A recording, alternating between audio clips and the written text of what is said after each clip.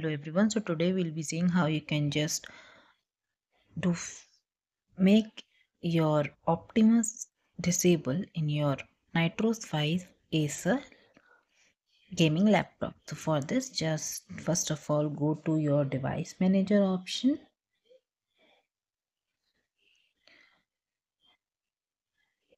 You can type here d and it will come so now device manager and then go to display adapter.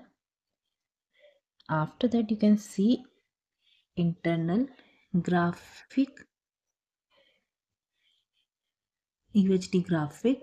So click on it and you can just disable the device here. So this is how you can just disable it.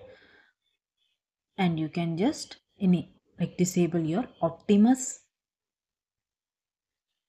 using your disabling the graphic card basically.